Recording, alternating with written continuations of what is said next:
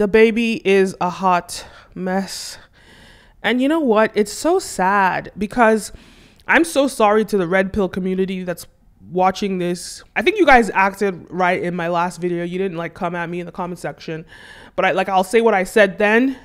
If you come with your stupid comments, you're gonna get deleted. Or maybe I'll just block off the comment section if I get some stupid uh, comments on here.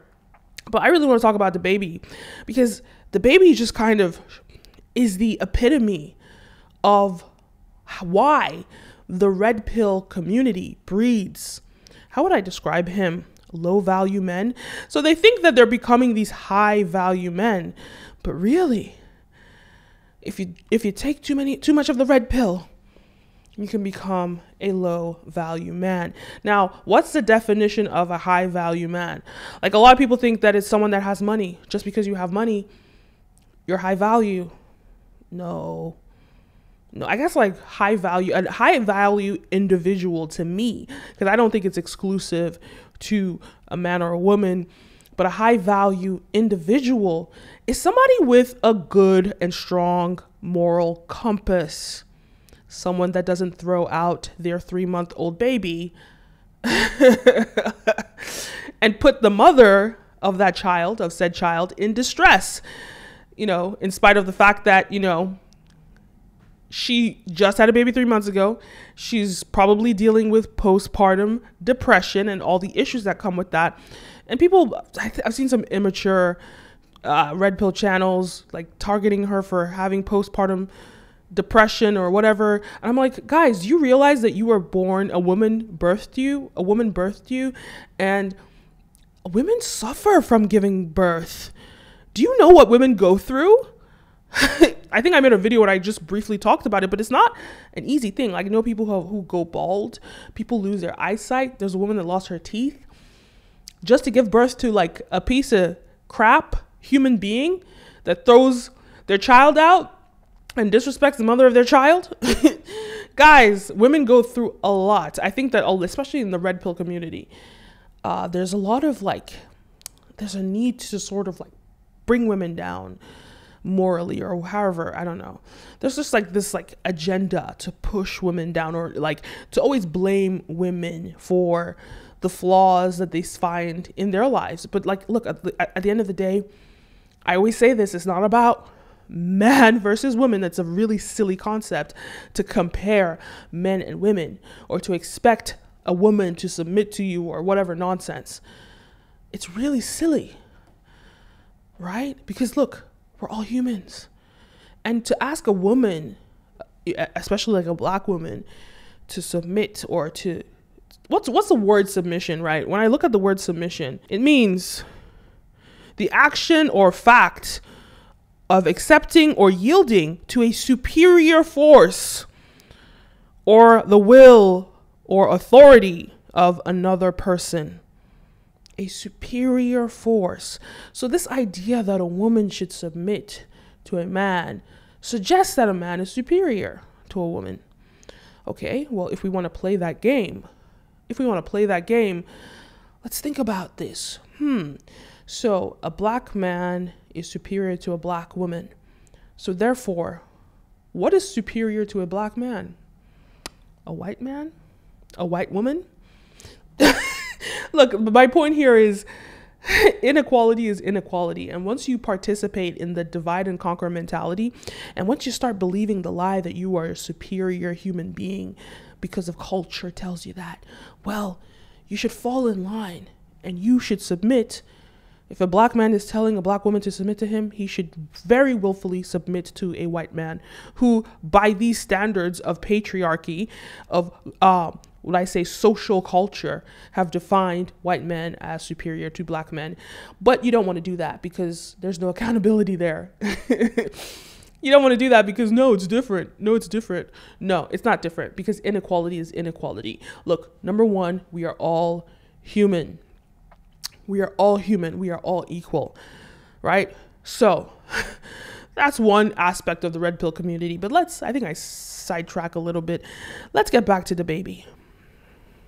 Such an unfortunate situation. I mean, I understand the need for him to record the situation because look, she's not innocent either. You know, you could see just the way she was hitting the phone that she was definitely the type of person that is violent. I don't know if it's because of the postpartum situation, but definitely a violent individual. Um, no, no wonder she was uh, taken and arrested. So it makes sense that he recorded her, but I don't know if it was necessary for him. I don't know if it was necessary for him to go live and put their business out on the streets. Um, don't know if that was a wise idea, but more importantly, kicking out your baby. Look, I, you got to understand both sides. Where's he coming from? He's in his home, fair enough. He's in his home, and this woman is attacking him. This woman that he loved at one point, even though he denies her. And shout is not my girl. ain't never been my girl. Is my side bitch. It's your what? My It's side bitch. what? Shout is a certified side bitch.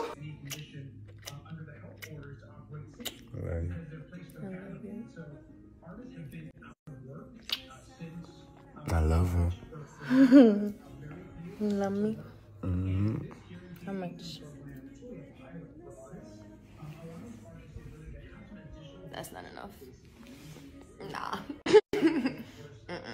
He loved her at one point, um, because there's evidence of him saying that he loves her. He loved her at one point, but then he decides, well, she's probably being toxic. I don't know what she she's doing there because she's not. She's definitely culpable. She definitely was doing something that he wanted her out of his house. We don't know the, those details, but I just think it's just extremely irresponsible.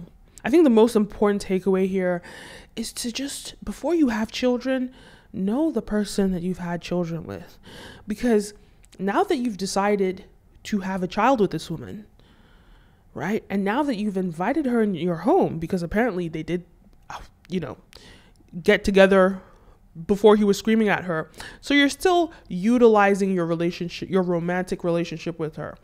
You can't pick and choose in life.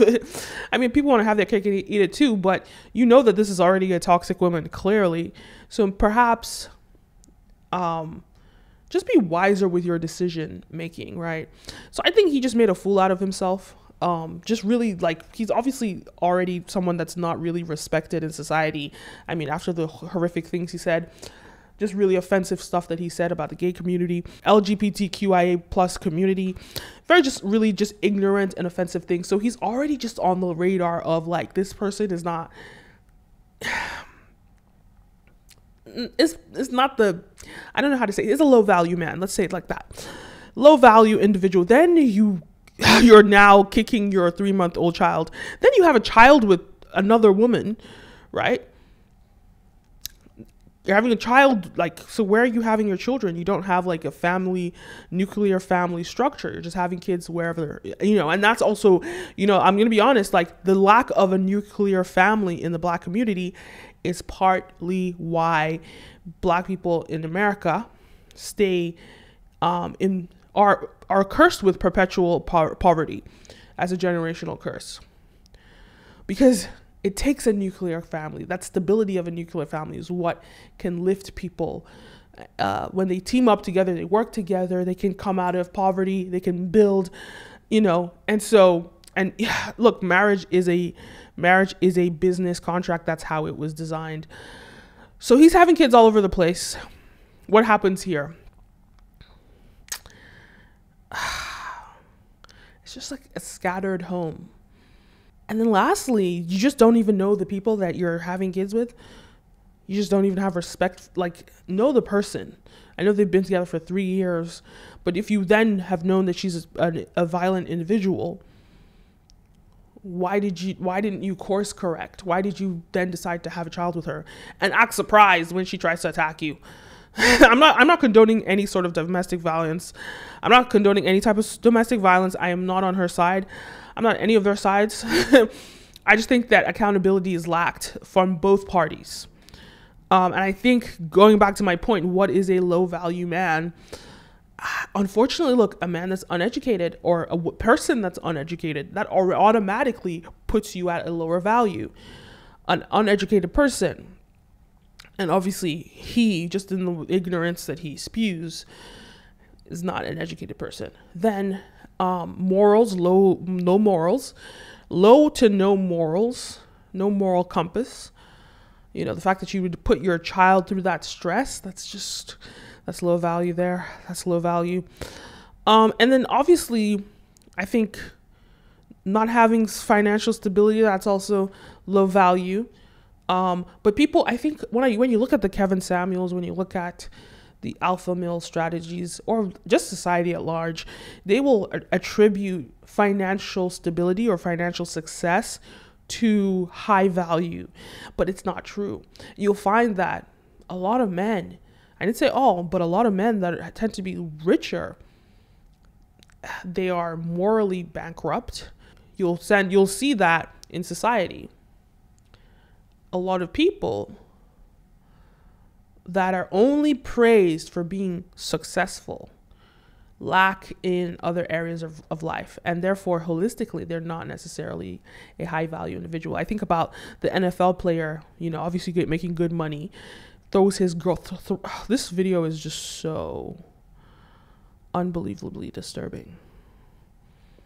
Throws his girlfriend beats her punches her and throws her across the room. I don't know what in your right mind would make you think that it's okay to do that to any human being, man or female, male or female, but especially to a woman when you're an athlete. You are a football player, the most aggressive sport there is, apart from rugby, but similar difference.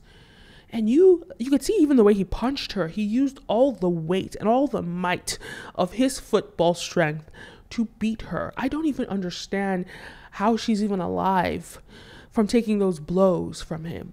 And obviously, that is a regular thing that he does.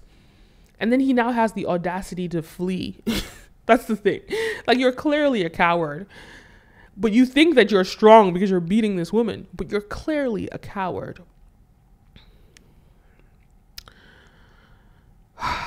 but you know what? It doesn't take just beating to be a low value individual. It's not just about meeting.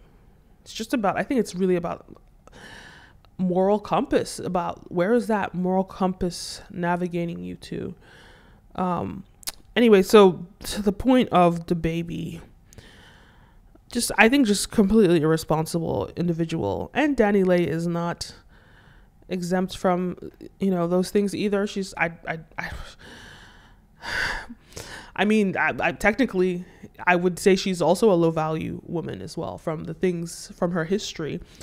Um, but regardless of whatever her history is, the idea of this woman that has just had this baby and is probably in the most vulnerable place that she's ever been in her life. You know, who knows what sort of postpartum symptoms symptoms she's going through. Who knows like the stress on her body caused by the pregnancy and for you to kick her out. Not even like give her some like maybe a week notice or whatever but just try to dump her out of your house instantly. It's just so offensive. And i think that anyone that's not sympathizing they should remember that they have a mother who gave birth to them. Maybe your mother is not in your life. I don't know. But either way regardless your mother went through a lot just carrying you for 9 months and giving birth to you. And out of that respect, that she didn't have an abortion and get rid of you, you should at least respect the woman that has just given birth. so even though, like, I mean, that sounds really harsh, right? But it is what it is. Your mom kept you. You're alive because she didn't have an abortion. So if you, when you look at it from that perspective, at least put some respect on pregnancy and the difficulties that women go through because of pregnancy. Um, so putting a woman out.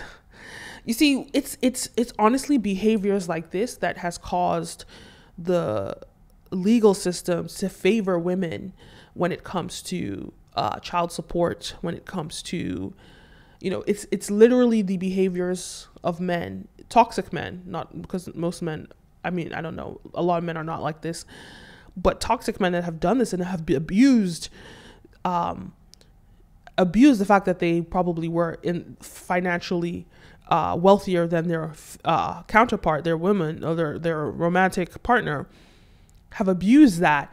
And that's why the legal systems are now breaking up families making it easier for people to get child support as a single parent. So what does this say? I think there's abuse on both ends, but the abuse coming from the man his, from the men historically has been far worse. Um, so I see a lot of these red pill channels talking about this, talking about the difficulties men have, um, and I just think I just want to ask them to have accountability because they always talk about accountability from the female perspective, and I agree with that 100%. But they lack accountability from the male perspective. They always sort of like avoid the conversations about uh, male on female violence, um, just abuse of wealth, uh, financial abuse, and other forms of abuse. And abuse works both ways. Women can be abusive as well. Um, but when it's the most physically detrimental, it's typically from a man. When it's the most financially detrimental, it's also typically from a man, a man. And so from a survival perspective, right? From a survival perspective, the risk that women have in these situations is much higher. So this is why the legal systems have to support women. Um, and I think the the solution here is reconciliation. It's accountability. Both parties need to be accountable, but especially the men, as they're making these red pill videos, educate your people. Be honest. Tell the story holistically. Don't just tell half truths. December 4th at 2 p.m. Eastern, I'm going to be hosting a live webinar, one time only, how to monetize in the metaverse. I'm going to be talking about crypto. I'm going to, I'm going to be talking about the creator economy. I'm going to be talking about essential things for you to understand about how to navigate in the metaverse because guys, we're already in the metaverse. People think that it's way behind. No, we're already in the metaverse. The fact that you're on your phone, you know, not in reality, but you're consuming things through the digital, that's technically the concept of the metaverse, right? So I'm going to be talking about it, uh, talking about things that you should start setting in place right now as a either creator or business to make sure that you get there first because this is the digital gold rush. And just like the real gold rush in the 1800s it's not about it's not about being the best. It's about getting there first. Um, and when we see with web 1 uh, we see with web 1 we see all the opportunities that came with web 1 Amazon dominating because of they were first during Web 1 you want to take advantage of this this opportunity because there's going to be so many people that are going to become millionaires billionaires etc from this metaverse space web 3 that we're entering or that we're already in. So guys if you want to stay in the loop you want to get information about how to navigate the metaverse and how to monetize now today in the metaverse that we're entering in web 3 Guys, click the link down below and sign up for my webinar. All right. One time only. I'm not going to there's not going to be any replays, there's not going to be any reruns. 2 p.m. Eastern Eastern Standard Time on December 4th. Guys, go check that out. Leave a comment down below. Don't forget to like, follow, subscribe, all the above. My name is Kenim, and see you next time. A peace.